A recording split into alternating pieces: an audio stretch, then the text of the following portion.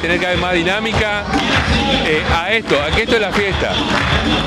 Eh, por suerte creo que es la fiesta en el mes de la discapacidad, donde acá vas a tener escuelas especiales, hay escuelas técnicas que han armado dispositivos, por ejemplo, para silla de ruedas, hay parte médica, eh, tenemos artistas, hay eh, grupos culturales. La verdad que nos hemos fusionado para festejar lo que hemos mejorado en el ámbito de la discapacidad y, y hacerlo más fuerte entre nosotros.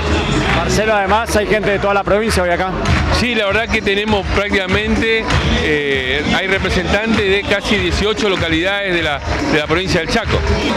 Nosotros tenemos un, espacio que queremos mostrar lo que hemos hecho hacia la sociedad, hacia la persona con discapacidad y también demostrar que hay muchas otras instituciones que están trabajando muy fuerte en el ámbito y que por ahí no tienen eh, o recursos o los medios que tenemos nosotros. Entonces esto también sirve para mostrar lo que ellos están haciendo. Vamos a distinguir a instituciones, a personalidades, a medios de comunicación, a todos aquellos que nos han hecho crecer y han hecho crecer eh, lo que es el desenvolvimiento de las personas. Bueno, ¿cómo fue este año 2023 para la Fundación Marcelo? Eh, fue muy bueno, la verdad que muy bueno. Pese al contexto que por ahí social no es muy favorable, para nosotros ha sido muy, muy bueno y tenemos muchas esperanzas y expectativas de seguir mejorando.